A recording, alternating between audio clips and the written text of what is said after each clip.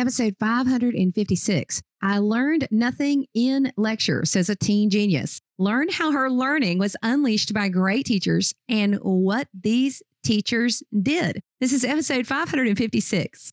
The 10 Minute Teacher Podcast with Vicki Davis.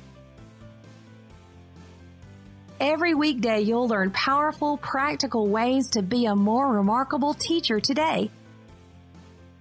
So today we're talking with Gitanjali Rao. She is 13 years old and an eighth grader at a STEM school in Colorado. Gitanjali, you have done some incredible things. What did you invent? Hi, so I invented a device that helps detect lead in drinking water faster and cheaper than the current techniques out there today. So, how did you decide to tackle this particular topic? I think I've always looked at things in a scientific approach. And one of the biggest problems that I was seeing on the news pretty much on a daily basis was um, the Flint water crisis.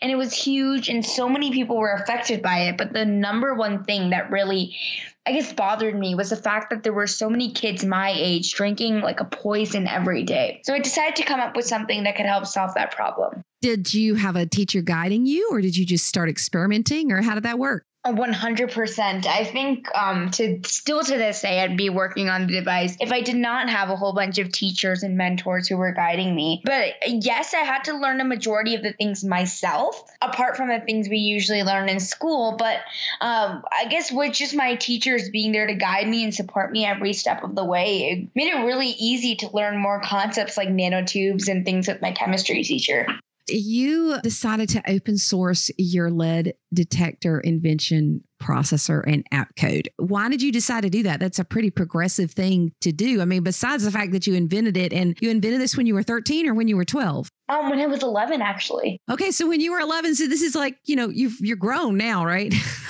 yeah, um, yeah, I'm a high schooler now, so yeah, crazy. So how did you decide to open source this? Um, so I decided that you know it would make it easier if everybody had the option to test for lead in water, not just places like Flint.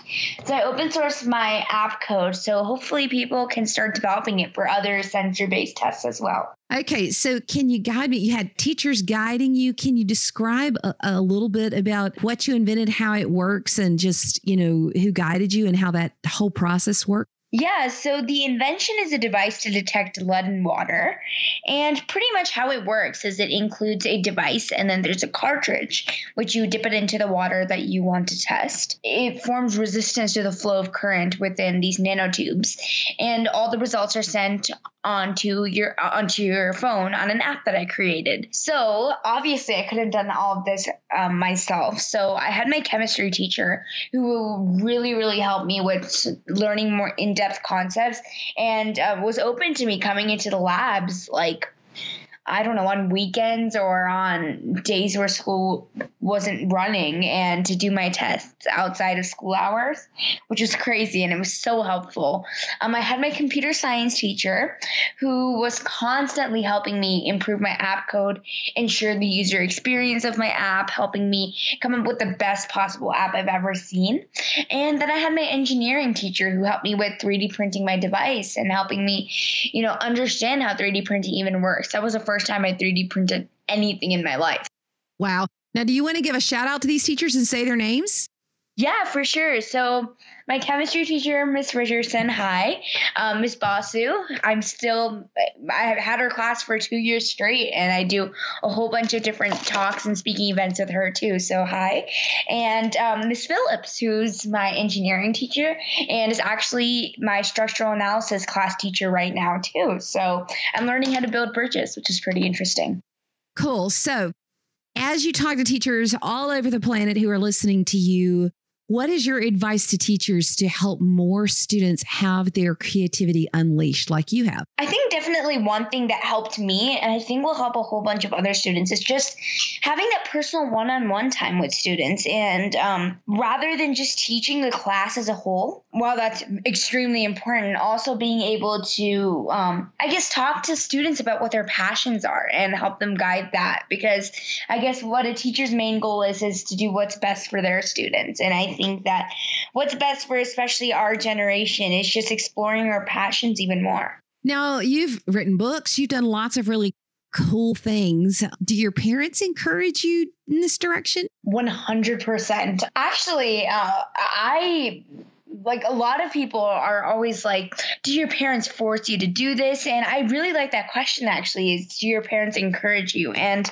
um, yes, 100%. This just my idea of coming up with inventions and stuff is something that's so deeply important to me and something that I will definitely continue to do. And uh, my parents have always been there to support me through this journey. So you've given TED Talks, you've done all kinds of different cool things, but what is your encouragement to teachers to unleash their students. You've already said, you know, spend that one on one time, help find what interests them. But obviously, these topics are exciting to you. So, how do we make our topics exciting to the kids in our classroom? Um, 100% hands on activities. I would say. Um, that's the best way I learned, and I think that's the best way every student will learn. I mean, people are different thinkers, but I had I had a whole bunch of science teachers. One who just wrote notes on the board and we took notes. I learned absolutely nothing in that class. Um, one who just talked and we had to write notes didn't learn anything in that. But then there was also one teacher who helped us make our own experiments and really, I guess, just play, play with items and play with materials and kind of design our own things.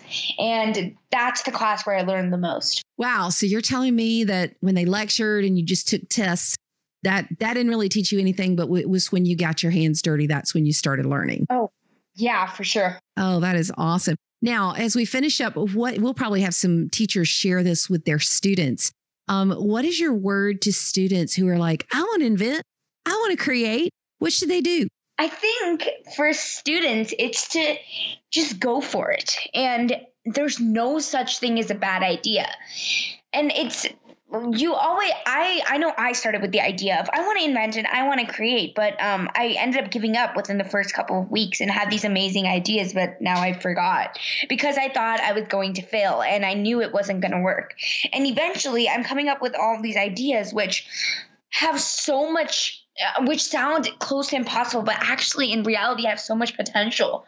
So I would say just if you have an idea, stick with it and go with it because that can really make a difference. Okay, Gitanjali, we will be hearing from you, I know, in the future as we watch all of the really cool things that you do with your life. And I really love what you've said about hands-on learning. You are totally speaking the language that that I totally uh, get and agree with. And just thank you for telling the story. Thank you for having me. I hope a whole bunch of teachers, you know, really enjoy this. Today, Gitanjali challenged us in four ways. Number one, make relationships and spend one on one time with our students. Number two, help kids pursue their passions. Number three, go hands on in your classroom. I really hope that you listened to what she said about a lecture and note taking. Well, these things can be important. If you're not hands on, you're missing out. Number four, help kids have fun and let them create and experiment. I also want to give a shout out to some educators who have shared some things that they have learned this week. Ron Bolden and Laura Snyder each played bear salmon mosquito in their classrooms from our five more easy brain breaks episode number 555 with Rob Donatelli. Educators Who Care share. And as Ron and Laura shared, other teachers started joining in the conversation. One teacher even reflected that he doesn't call them brain breaks, but he calls them brain boosters, and that's a great thing. Of course, Rob calls it Donatelli challenges, and that's awesome too. So if you take the challenge from this particular episode, which is your challenge is to apply one of these four ways. How can you make relationships? Could you spend one on one time with every single student in your class this week? Number two, are you doing something to help students pursue their passions? Number three, could you plan at least one hands on activity this week? Or number four, could you help kids have fun as they are learning this week? So if you do one of those four things that Gitanjali has challenged us to do, share what you do and tag me at Cool Cat Teacher on the social media of your choice and let's level up together. And perhaps I will include you in a 10 minute teacher shout out in the future.